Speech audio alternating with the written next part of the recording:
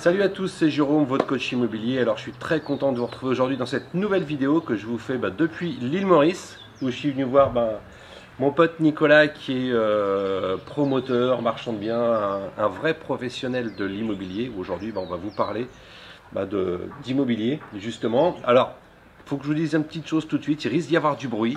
On est chez lui, dans sa maison euh, bah, qui est encore en travaux et qui n'est pas complètement finie, en cours de livraison. On a un tractopelle qui est dans la rue.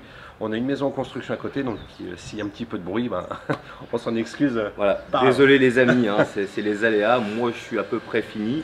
Et comme vous pouvez l'entendre, voilà, à côté, euh, tout n'est pas fini, donc ça fait un petit peu de bruit.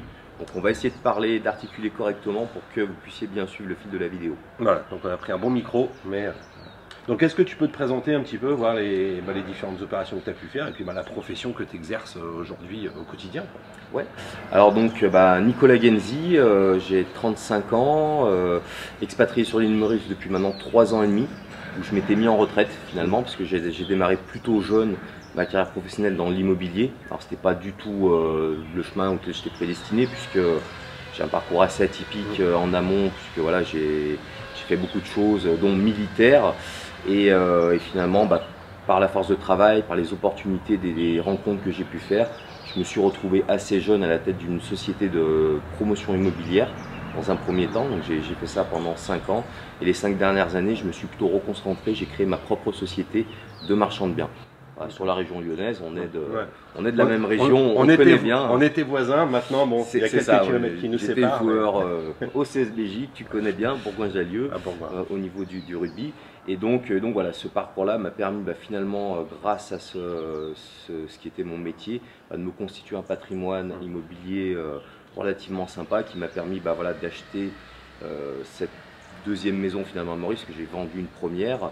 Et euh, voilà, on va rembourser des crédits qui me donnent une rente mensuelle qui me permet d'être plus tranquille. Maintenant, euh, maintenant aujourd'hui, euh, eh ben, je relance finalement mon business physique parce que la retraite c'est bien, mais à mon âge, on commence à s'ennuyer un petit peu.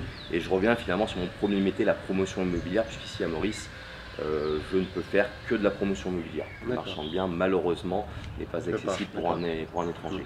Alors justement, là aujourd'hui, j'aurais voulu juste qu'on revienne sur la partie, euh, sur le métier de marchand de biens, parce qu'il y a beaucoup de choses. Euh, bah, c'est un métier un petit peu, un petit peu obscur parce que les banques veulent pas le financer.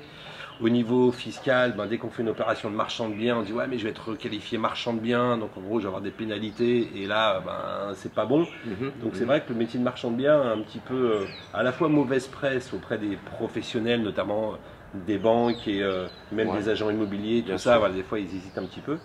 Alors que c'est même, des particuliers. Même des hein. particuliers. Il, y a, effectivement une image euh, mais qui, trouve son sens parce qu'effectivement c'est un métier euh, qui a subi de, gros abus. Voilà les années 90 moi j'ai eu la chance de, commencer au début des années 2000 et j'ai connu cette ancienne génération des années 90 début des années 2000 où il y a eu beaucoup d'abus euh, au niveau de ce business là donc les banques ont pris euh, excusez-moi du mot, mais d'énormes pièces, d'énormes. Euh, voilà, à l'époque, ils prêtaient sans caution personnelle, c'était l'argent coulé à flot, et, et, je peux donner des exemples d'opérations où un compromis était signé cinq fois avant d'être réitéré par acte authentique.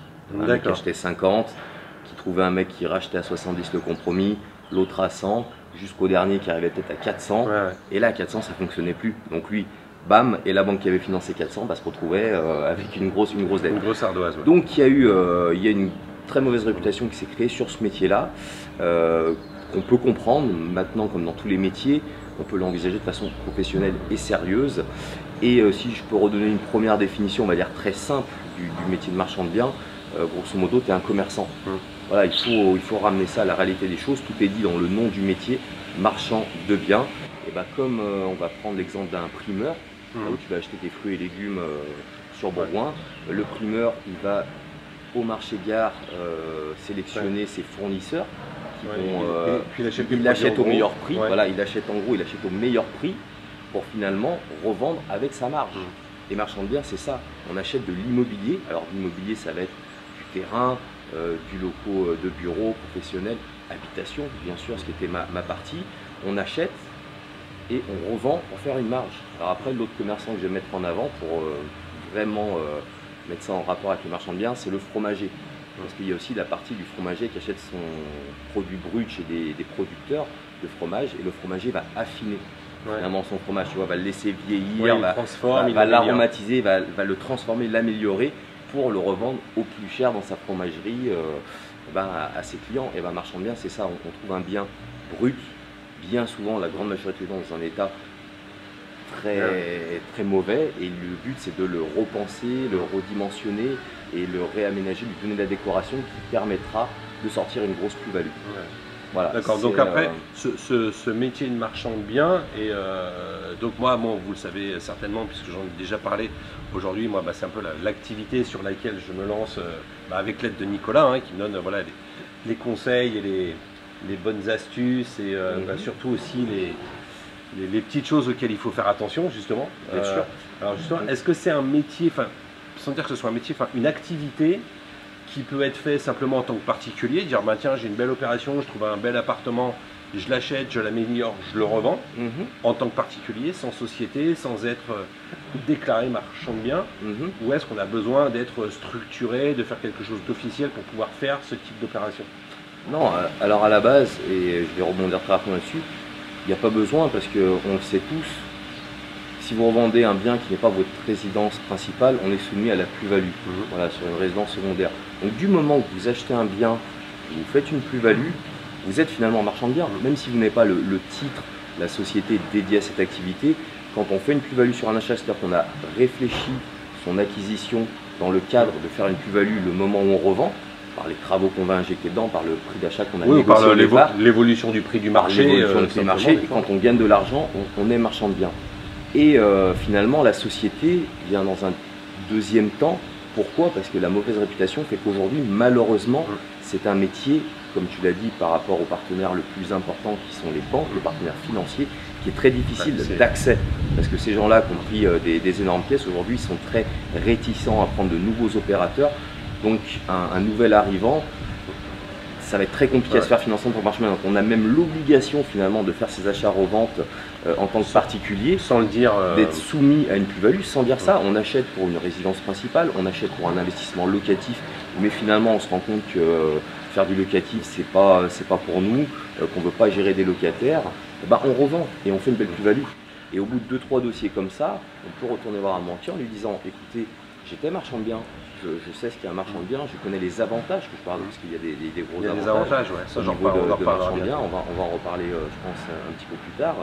Mais, euh, mais voilà, à un moment, euh, c'est clair que basculer en société, c'est beaucoup moins cher. Vous êtes beaucoup moins taxé qu'un particulier. Donc il y a un gros, gros intérêt. Mais malheureusement, on a l'obligation de passer, euh, de passer par la case particulier, C'est le côté résidence secondaire. C'est le après, côté financement qui est compliqué. quoi. Ouais, c'est ce côté-là. Même si aujourd'hui, bon, il y a des banques euh, à l'instant T où on Ouais, est pris qui s'ouvrent un petit peu plus à ce, ce Mm. business-là, et, et tant mieux. Donc il faut quand même essayer, pourquoi pas, parce que on paye moins de frais de notaire à l'achat et vous êtes moins taxé finalement. Et c'est pour ça que beaucoup de gens ont, peur, et je le vois énormément sur Internet, de la fameuse requalification en marchand de biens, peut faire peur. Alors moi, je l'ai jamais eu, parce que bon, c'était mon métier, et pourtant je faisais mes opérations à titre personnel, je fais des achats reventes Après, sur la résidence principale. c'est pas du systématique. hein. Moi, Ah j'ai fait, euh, moi, moi, j'ai fait trois ventes successives en tant Mm. que particulier et j'ai pas eu de problème. Voilà. Et j'ai- créé la société ensuite d'activité de marchand de par la suite. C'est ça. Mais j'ai commencé euh, Donc, en tant que Il y particulier a, et il y a fait très peu de risques. Et si on a la, la grande malchance euh, que ça nous arrive, moi j'ai jamais connu autant de moi et pourtant connais pas mal d'opérateurs et même encore aujourd'hui j'ai pas mal de gens que je suis qui font des achats-reventes à titre particulier. Pas trop le cas mais ça peut arriver.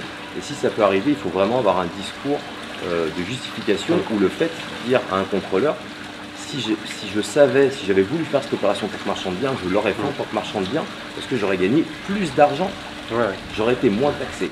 Voilà, c'est ça qui est important, c'est que la requalification marchand de biens, c'est pas simplement euh, un tableau et un jour on reçoit un papier en disant voilà vous êtes requalifié. Mm. C'est que c'est euh, c'est un, agent du fisc qui ça. vient et là on s'explique parce que vous pouvez très bien avoir pu revendre euh, parce que ben il y a eu vous avez eu euh, des problèmes personnels, un besoin de trésorerie, euh, des problèmes vous vous lancez dans une activité locative et qui convient pas avec votre organisation et à ce moment-là ben, vous décidez de revendre. Donc ça peut des fois être des choses qui sont je dirais, en- entre guillemets involontaires, Mm. même si souvent bon, c'est quelque chose qui est Ouais, mais on, on le sait. Mais on peut l'expliquer, voilà. euh, le tout c'est d'arriver à l'expliquer Et c'est le plus euh, important. La justification, moi c'est ce que, ce que je dis beaucoup aux gens concepteurs-là qui viennent sur une résidence principale où il y a 0% d'imposition, ça reste les plus belles opérations à faire en France. Euh, et les gens qui ne vont pas y rester, effectivement, il y a, il y a un risque. L'idée, c'est d'avoir une vraie justification, mais une vraie story à laquelle on croit et qui soit euh, opposable à, euh, Avoir la- à une mise en doute d'une faut d'une préparer personne voilà. quoi. C'est, voilà, faut présenter l'histoire à raconter au banquier. C'est bon, j'en parlais aussi avec un avec un, expert comptable Ouais, où il dit voilà, il faut avoir l'histoire fiscale, il faut avoir l'histoire euh, l'histoire comptable, expliquer pourquoi on en est arrivé là, pourquoi on a fait ça. Et du moment qu'on arrive à le justifier, ça peut très bien se passer et éviter Ouais. la, la requalification. tout à fait. Même si, voilà, sur Donc, les euh, premières opérations, encore une fois, ça serait vraiment très peu de chance pour vous sur une première, deuxième, troisième opération d'avoir euh, ce, ce risque. Voilà, faut être vrai. Mais ça existe donc pensez justification et story du pourquoi, du comment vous avez été amené à vendre rapidement un bien euh, qui n'était pas à la base prévu pour ça. Quoi. Mais donc sachez-le, l'activité marchand de biens, euh, c'est pas une tare, c'est pas quelque chose de, Non, de mal, c'est une activité comme une autre et en plus qui peuvent être faites donc, en tant que particulier. c'est ça. Même Voilà. si euh, l'idée c'est d'un moment d'arriver à basculer en professionnel parce que c'est plus rentable Plus rentable. et plus intéressant euh, au niveau financier. Ok. Bon, bah merci Nico. Merci, Merci à à vous, votre attention. Si vous avez aimé cette vidéo, ben, comme d'habitude, n'oubliez pas, hein, vous la commentez, vous likez, vous vous abonnez, vous mettez un petit pouce. Et voilà. Et on se retrouve très très vite pour de prochaines vidéos. Allez, salut. Bye bye.